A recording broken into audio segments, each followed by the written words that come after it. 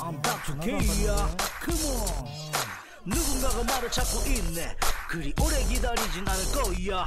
Put your hands up, shake your body. Everybody say, everybody say ya. 여러분 반갑습니다. 닥터케입니다. 자, 6월 9, 19일 오늘 화요일자 오늘의 주식시황 방송해 보도록 하겠습니다. 자, 아, 연일 주식시장 폭락하고 있습니다. 특히 코스닥 시장 전일도 3% 마이너스, 오늘도 거의 3% 마이너스 2.96% 하락. 자, 폭락 수준으로 나오고 있고요. 코스피 시장도 마이너스 1.52% 하락. 자 여기 위에서 어, 추세 상단의 저항을 받고 난 이후에 급격히 지금 밀리고 있습니다 그래서 어, 지금 상당히 낙폭 심하다 그렇게 말씀드리 드려야 될 것 같고 지금 아 여기가 마지노선인데 여기도 오늘 터치하고 깨고 내려왔죠. 자 코스닥도 여기 보면 아 마지노선까지 지금 밀리고 말았습니다. 자 외국 외국인들 거래소에서 어, 마이너스 2159억 어, 매도고요. 기, 간은 341억 매수. 자 코스닥에서는 외국인 444억 매수. 기간은 251억 매도. 자 선물이 제가 닥터케이가 자주 이야기하는 어, 기준 중에 하나. 자 기간 외국인 특히 외국인이 어, 매수세 잡히는가 그리고 선물이 매수세 잡히는가 외국인에 그것을 체크를 잘 하자고 자주 이야기를 드리고 있는데 지금 선물 지속적으로 매도 나오고 있습니다. 자 그리고 프로그램도 어, 매도죠. 자 프로그램도 보시면 아 매도. 자 3200억대 넘게 매도. 그래서 지금 아 장이 아주 안 좋다. 닥터케이가 아 저번 주에 말씀드렸습니다 뭐라고 말씀드렸냐 하면요. 자 지금 이거 잠깐 선물 어, 포지션 보자면요. 여기 여기 인근에서 지금 32,000 계약 정도 환매수 들어와서 아 장밋빛 아, 전망을 했었는데 지금 최근 들어서 또 한 9,000 계약 이상 매도가 났죠. 안 좋은 것입니다. 그죠? 그리고 특이한 상황 있다 말씀드렸습니다. 콜 옵션 풋 옵션에서 대량 거래가 터졌다. 342억 매도. 그리고 그 다음날 200억 매수 콜 옵션 풋 옵션 551억 매수 그리고 그 다음날 환매수 뭐 248억 나와도 여기 이틀만 봐도 벌써 300억 가까이 지금 아, 매수 잔량 남아있는 거지 않습니까? 풋옵션은 매수하게 되면 하락 방향으로 베팅한 거거든요.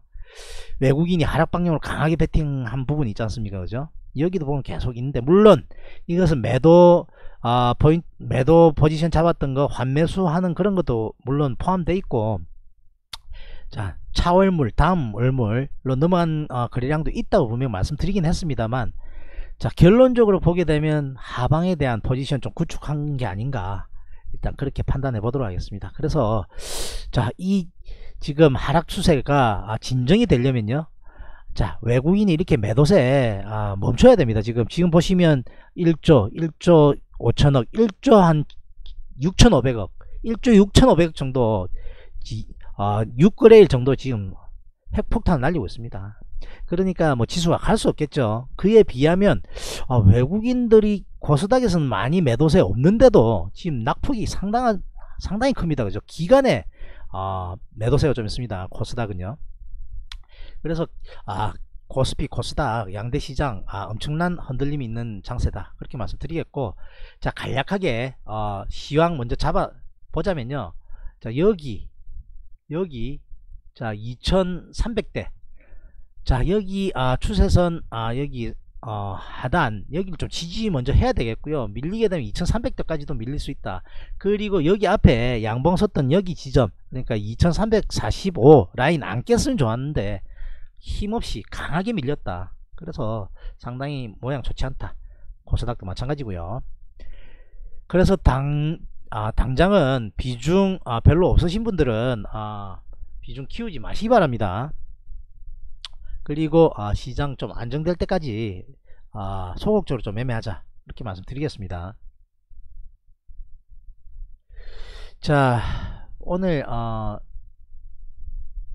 개별주들 한번 보자면요 업종 대표주들 포함해서 아, 개별 종목들 한번 보자면 자 삼성전자 하이닉스 전일 조금 어, 낙폭이 있었는데 오늘 그냥 그만 그만하게 붙들어 놓고 나머지 다 어, 하락세. 코스닥 IT 마, 마찬가지고요. 반도체 하락세. 그리고 조선주 어, 안 좋습니다. 조선 기자재 안 좋고 지주사 안 좋고 건설주 제법 낙폭이 있습니다. 기계 안 좋고. 자, 통신주도 어, 며칠 올라가던 거 오늘도 주춤하고 있고 철강 안 좋고 자 건설 철강이 어, 남북 경협에 따른 기대에 따라서 어, 상승하던 거 이제 거의 뭐 끝났다 이렇게 보시면 되겠죠. 자 화학주도 안 좋고요. 석유화학도 안 좋고. 어느 하나 괜찮은 종목이 없네요. 그죠? 자 오늘은 자 보험 관련 자 어저께도 보험주가 좀 가, 강세였고요. 그 외에는 낙폭 상당합니다. 특히 바이오 제약주. 자 닥터케이가 기다리자 그랬습니다 분명히 자 오늘 낙폭 상당합니다. 그죠? 5%, 5% 이상씩 전부 다. 아, 낙폭 상당하다. 자 다행히도 어, 우리 구독자분들 그리고 어, 채팅방 회원분께서는 여기 닥터케이 31만 32만원 여기 단기 고점이고 여기 올라가기 힘들 거다 말씀드렸고 자 적어도 자 여기 여기 깨지는 거 보면 매도해야 된다고 아, 의견 드리니 그거 잘 따라서 다행히 잘 팔고 나왔습니다. 어, 어저께 만약 안 팔았으면 오늘 어떻게 되는 겁니까? 자 5.7% 빠지는 겁니다. 거기에서 매매가 막 꼬이거든요. 아 그러나 어, 상당히 지금 낙폭이 심하기 때문에 자 3, 27만원 28만원의 지지를 받, 받을 수 있다는 부분은 뭐 어, 그대로 유지하긴 하겠으나 자 음봉이 너무 크다. 음봉이 너무 크다. 지금 현재 셀트리오는 쌍끌이 매수가 들어오고 있는 중인데 아 음봉이 오늘 너무 크다 자 그리고 어, 바이오와 어, 셀트리온 삼행전은 닥터케이가 또 새로운 컨텐츠로 어, 말씀드리고 있으니까 더 자세히 나중에 아, 말씀드리기로 하고요. 그래서 아, 삼성전자 하이닉스 잠깐 붙들어 놓고 자, 하이닉스 여기 인근 제가 아, 매수할 만하다 뭐 표했는데 했는지 안 했는지 모르겠습니다. 그리고 신세계도 어, 여기 인근 오면 36만원. 자 40만원 인근에서 매수할 수 있다. 그런데 뭐라고 조건을 달았죠? 양봉 쓸 때란 조건입니다. 양봉 안 썼죠? 그러면 안 따라가는 겁니다. 그죠? 자 그래서 한 단계 더 레벨 다운 할 수 있기 때문에 36만원 인근 오면 한번 접근해보고 자 40만원권까지 매도 해보는 자 그런 전략 신세계는 드리도록 하겠습니다.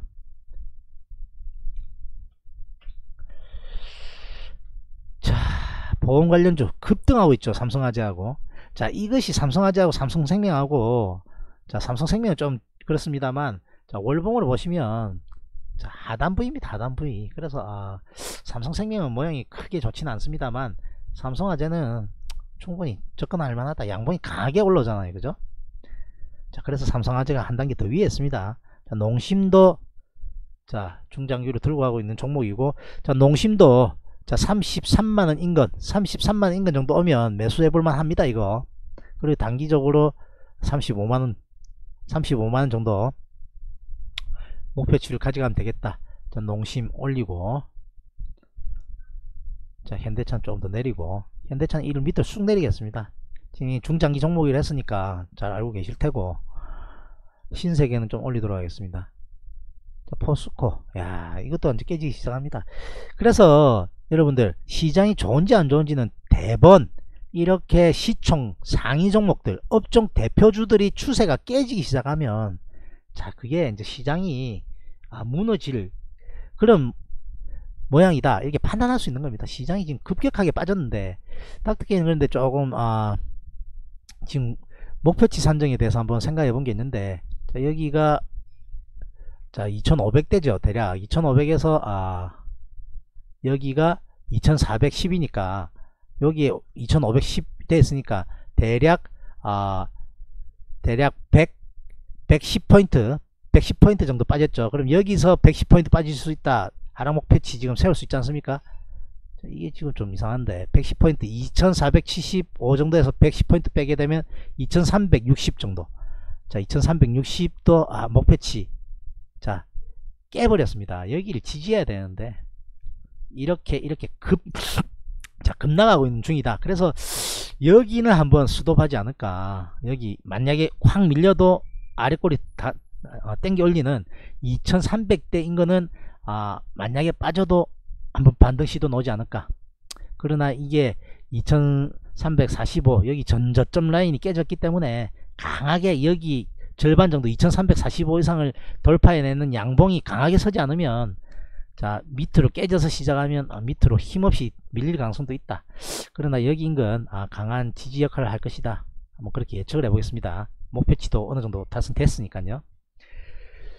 자 그리고 실시간으로 지금 한번 열어보자면 아 지금 아까 제가 체크하기로 어, 어, 미국 아, 해외 선물 어, 지금 빠지고 있더라고요. 나스닥이 선물이 한 1%대 하락하고 있는 걸로 봤는데 한번 체크해 보도록 하겠습니다. 중요하니까요.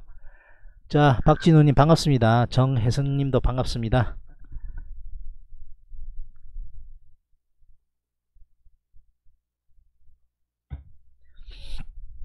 자 이거 어, 올라올 때까지 잠깐 말씀드리자면 아, 아까 박진우님은 어, 제가 닥터케이 온라인 어, 주식 트레이닝 센터 어, 개설하겠다 하니까 뭐 참여하시겠다 했습니다. 오후 9시 하니까 자, 최근에 지속적으로 생방송도 잘 어, 들어오시고 하니까 한번 같이 한번 공부해 보도록 하죠.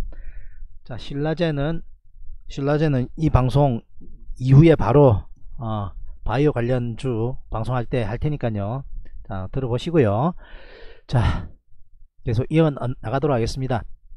지금 보시면 현재 야 이게 무슨 일입니까 큰일 났습니다. 미국 다우존스 지금 선물 마이너스 1.43% 하락 이거 보이시죠? 여기 깨면 안되는데 강하게 음봉을 깨졌습니다. 자 여기까지도 밀릴 수 있다. 그리고 나스닥 선물 1.19% 하락입니다. 고점 부에서 장대 음봉을 깨지고, 깨지고 있습니다. 여기까지 열려 있거든요. 자 이러한 부분들 아까 제가 장중에 보니까 1%대 나스닥 마이너스 제가 확인했습니다. 그래서 다시 보여드리는 거거든요. 자, 우리나라 빠지는 게 나스닥하고 코스닥하고 같은 맥락이지 않습니까? 나스닥 박살날 거 예고되고 있으니까 오늘도 3% 가까이 빠지는 겁니다. 이해되시죠? 그래서 반드시 장중에 해외 선물 하지 않더라도 여러분들 하나의 어, 지표로 중간에 체크하셔야 됩니다. 큰일 났다 이렇게 말씀드리겠습니다. 내일 어, 개발락 거의 확실하다. 그렇게 말씀드리겠습니다. 자 정리하도록 하죠. 시총 상위 종목들 비롯해서 오늘 어느 하나 강세인 종목 하나도 없습니다. 그래서 가지고 계신 종목들 비중 축소하시기를 권유드리겠고 자 닥터케이 어제도 말씀드렸고 바이오 관련 종목들 자 쫓아가지 말자 그랬는데 만약에 어저께 정도에 이렇게 쫓아갔다면 상당히 손실폭 오늘 하루 만에 7% 넘게 손실을 날 수 있기 때문에 쫓아가지 말자고 분명히 말씀드렸습니다. 기다리자 그랬고 저항때다 그랬고. 자 과연 그렇게 잘 실천들 하셨는지 궁금하고요. 자 여러분들 지금 비중 축소해야 되고 위험 관리 하셔야 됩니다. 강하게 하는 어, 지금 포인트 아니다. 다시 한번 말씀드리겠고 기간은 사주고 있으나 외국인의 매도세 집중되고 있다. 현 선물 집중적으로 매도되고 있으니까 이거 아, 사그라들 때까지 좀 잦아들 때까지 여러분들 소극적으로 매, 매매하셔야 됩니다. 자 그거 다시 한번 강조하면서 저는 또 다음 시간에 찾아뵙도록 하죠. 바이바이. 누군가가 말을 찾고 있네. 그리 오래 기다리진 않을 거야. Put your hands up, shake your body. Everybody say, everybody say